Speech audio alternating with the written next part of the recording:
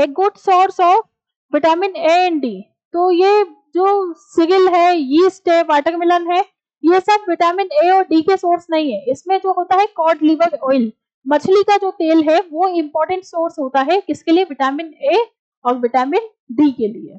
ठीक है? तो टीचर्स ये आपको एनसीईआरटी में भी मिल जाएगा। डायरेक्टली लाइन दी हुई है एनसीईआरटी में। ओके टीचर्स तो ये आपकी बायोमोलिक्यूल्स की डीबीबी थी।